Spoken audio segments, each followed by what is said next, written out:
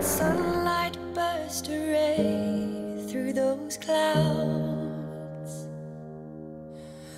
We finally seen the back of those gray days. Please let the summer back to stay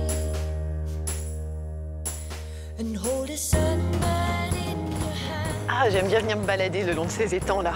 On est à Rospordin et en tant qu'animatrice nature sur le territoire de Concarneau-Cornouailles, c'est un site qu'on fait découvrir à énormément de groupes, à des scolaires, parce que c'est un milieu naturel qui est très très riche, qui est varié. Et puis ce qui est très sympa, c'est qu'au départ de Rospordin, eh ben, il y a cette voie verte. Et puis cette voie verte, eh ben, elle peut nous amener jusqu'à Roscoff si on veut. On a l'impression d'être dans vraiment un écran de verdure et ça c'est vraiment super pour se balader.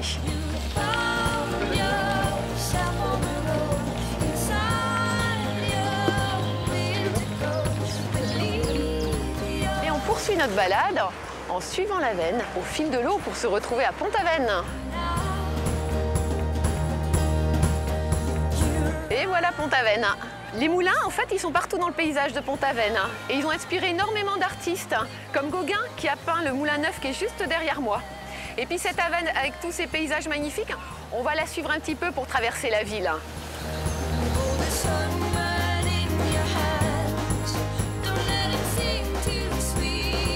Alors voici la deuxième face de la veine, la veine maritime, qui vit au, rythme des marées.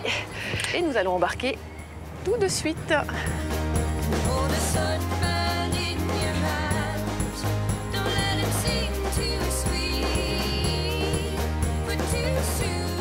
On arrive à l'embouchure de la Veine avec le, devant nous le port de Port-Manec. hein. C'est vraiment un super terrain de jeu pour les activités nautiques parce que c'est relativement abrité. Et puis ben, par des belles journées comme aujourd'hui, on peut même aller rejoindre l'île de Groix qu'on voit sur la ligne d'horizon. Là, on a un plan d'eau qui est magnifique. hein.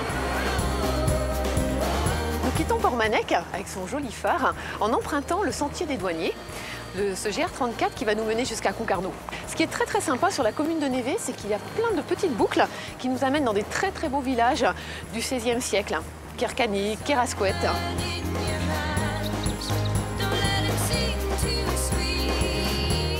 Voici sur le site des dunes étangs de Trévignon. Ce sont des terrains du Conservatoire du Littoral, 300 hectares.